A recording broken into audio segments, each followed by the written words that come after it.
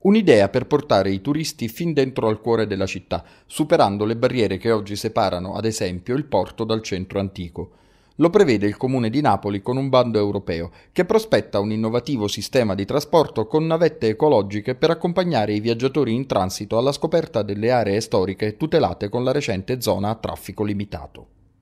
Napoli intende rispettare le logiche di uno sviluppo economico intelligente, solidale e sostenibile per la città, sottolinea l'assessore allo sviluppo Marco Esposito, quei principi che trovano la loro massima espressione nei temi del World Urban Forum. A Napoli sono sempre arrivati, arrivano tanti turisti, ma spesso si fermano alle periferie, non entrano nel centro antico della città perché ci sono delle barriere reali, delle barriere come via Marina, delle barriere di comunicazione. Noi eh, con questo bando per navette ecologiche porteremo i turisti all'interno della zona a traffico limitato, in modo sicuro, tranquillo e organizzato. Come il bando si affida a privati, privati che quindi ci aspettiamo si mettano insieme, operatori turistici, commercianti, artigiani, persone che sono tutte interessate all'animazione economica del centro antico e riceveranno un gettone, un gettone consistente, più di un milione di euro per l'acquisto appunto di queste navette, che però gestiranno loro in accordo con la mobilità